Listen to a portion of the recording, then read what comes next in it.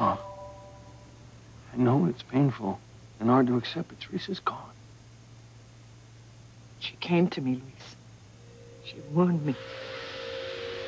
Mom, that is not possible, okay? What's happening to me? I need to talk to them. I am so weak. I know, Luis. I saw her die. I know Teresa is no longer. I just wish I could understand how she could have come to me. I know. No.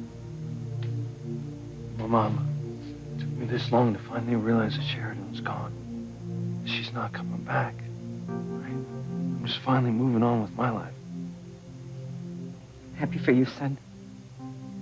And I know it takes time, but so much has happened. Teresa warned me there's still danger ahead. Mom, it's just a dream. Or it was your imagination. It was so real. No. It's just your mind. It's your mind playing tricks on you. It's, it's preventing you from realizing that Teresa's gone. But she is. She's, she's not coming back. Come on, come on. Why don't we sit down for a minute? I'm fine, Luis, really. I want to see Teresa.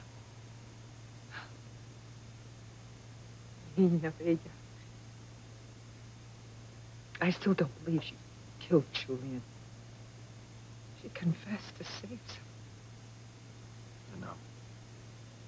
I'm gonna find out who it was she was protecting. I Miss her so much. Why? I did see her, Luis. I did not imagine it, and I did not dream it. Saw Sheridan so many times, too. I could have sworn that she was still alive.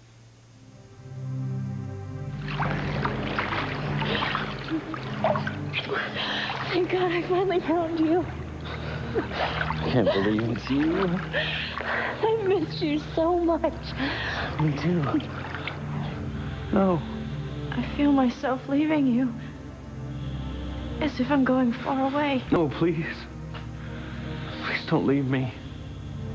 Your name. I can't remember your name. Tell me your name. Dr. Russell explained it to me. She said that it was my subconscious compensating for my loss. That's exactly what happened to you when you saw Teresa. Your mind was compensating for your loss. Suppose that makes sense. So hard. I wish Antonio was here. Why?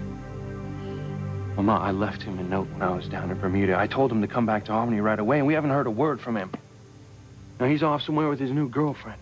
I'm sure he had good reason not to come. No, I'm sure that he didn't. That's just Antonio. Whenever his family needs him, he...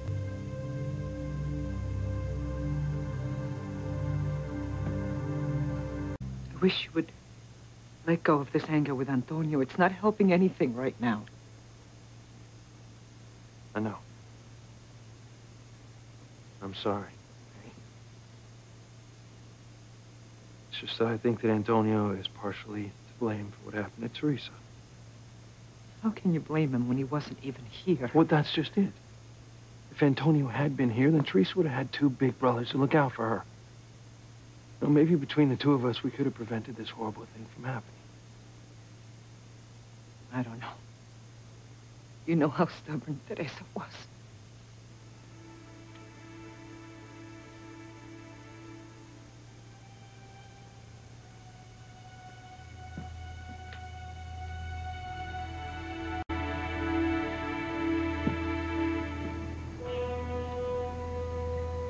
Well, even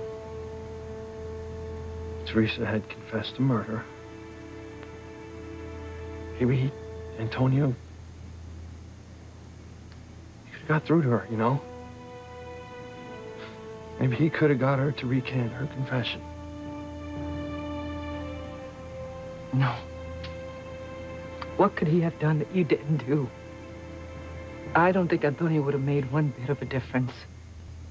Teresa was so stubborn when she made up her mind about something. She's just like you. And Antonio. And your father. All of you. Nothing can stop you from doing something you wanted to do. Luis. Luis.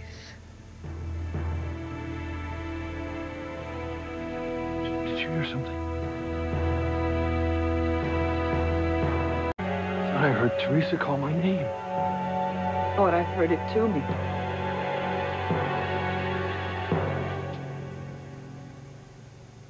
Was just our minds playing tricks on us. Look at her, though. She looks like she could sit up and speak to us, doesn't she? Yeah. But we know that'll never happen. We'll never hear Teresa's voice again. No. Of course we won't. Many awful things have happened, you know. I just wish we could have some good news, just a small thing.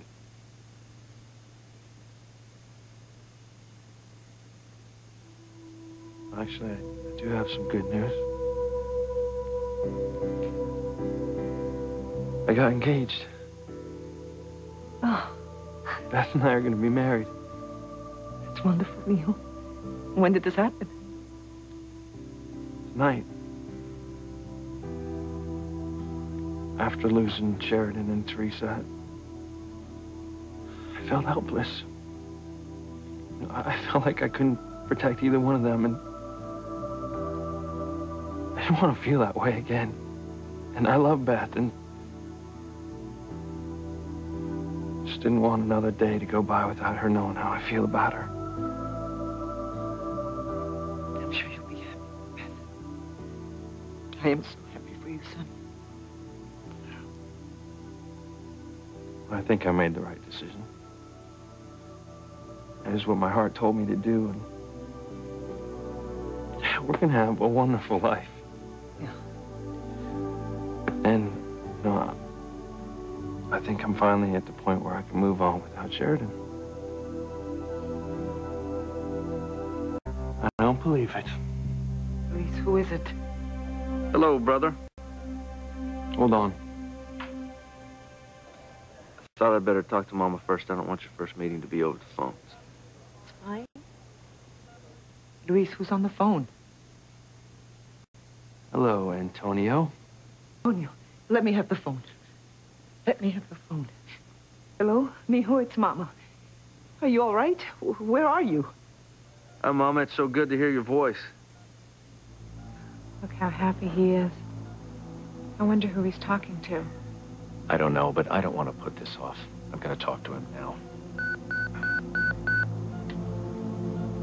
Well, I've got to go to OR3. I guess this will have to wait. Oh, Brian doesn't check out until later, so you have some time. Enjoy your happiness now, kids. The future holds a lot of pain for the both of you.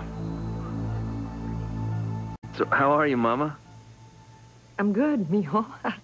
Where are you? And when are you coming home? I I can't wait to meet your girlfriend. I believe that he has the nerve to call here. Oh, is everything's just suddenly going to be okay just because he decides to call?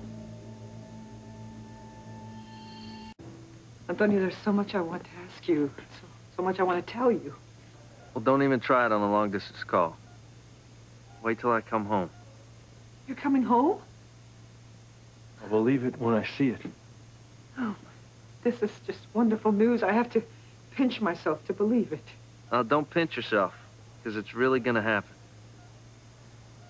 And I'm bringing a surprise with me. Your girl, Diana. Well, I, I suppose you would. Actually, Mama, she's my fiancée. I just asked her to marry me. Antonio, that's wonderful news. Antonio's engaged. I figures. I'm engaged, so he gets engaged. I can't wait to meet this Diana. She must be a very special person. She's the most wonderful woman you'll ever meet, Mama.